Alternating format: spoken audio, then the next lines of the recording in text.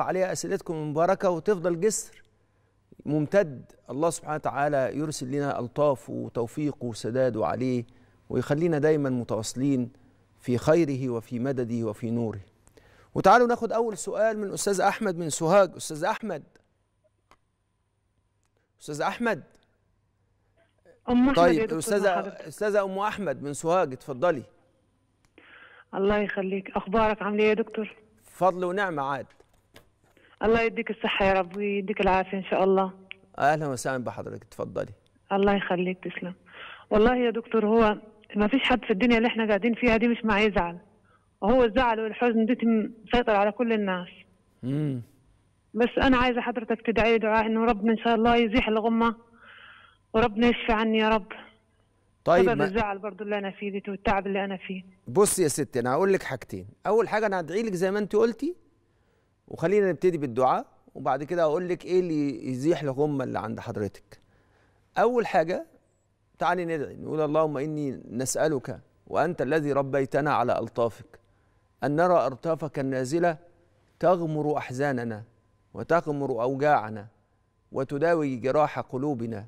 فاللهم إنا نسألك وأنت الشافي أن تشفي قلوبنا قلوبنا من كل أوجاعها حتى تصير قلوبا سليمة بنعمتك وبفضلك تحيا في كل وقت وحين يا رب العالمين. الأمر الثاني حضرتك أنا أقول لحضرتك نصيحة في مسألة الأوجاع والهم دي. أول حاجة لازم الإنسان يبقى دايما كده الإنسان يبقى مستبصر يعني عنده حكمة. لازم الأحزان دي الإنسان لا ما يبركش تحتها. ليه؟ لأن الأحزان دي في الحقيقة نحن نحزن على ما فات إما ما فات من وجع أو ما فات أي فاتنا. فالأحزان دي في الحقيقة نحن نفسد بها واقعنا ومستقبلنا بلا معنى بلا معنى.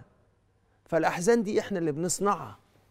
لابد إن إحنا نعرف إن كما تفنى المسرة هو حد بيشك إن السعادة بتفنى كما تفنى المسرة المسرات مش بتفنى مش الأوقات اللي إحنا بنفرح بيها ونسعد بتفنى فكما تفنى المسرة هكذا تفنى الهموم. طب إيه اللي بيجدد الهموم؟ إحنا اللي بنجددها. ولذلك لابد الإنسان يتقي الله في نفسه وما يجددش الهموم. لازم يقول إن الهموم دي مرت وإن كل يوم هو ميلاد جديد ليه. أنا يوم جديد على عملك شهيد فاغتنمني لازم نغتنم ده. فلذلك أول حاجة تعملي كده تقعدي مع نفسك وتقولي إن كل الأحزان دي انتهت وفنت. الحاجة اللي بعد كده لازم تغيري برنامج عم برنامج اليوم بتاعك. طول ما انت عندك نفس برنامج اليوم ما هو برنامج اليوم بتاعك بيفكرك باللي فات. الحاجة الثالثه لازم تدخل أشياء مسعدة ليك في حياتك. بالثلاث حاجات دول مع الدعاء كل ده هيتغير إن شاء الله وتكون حياتنا في أفضل حال.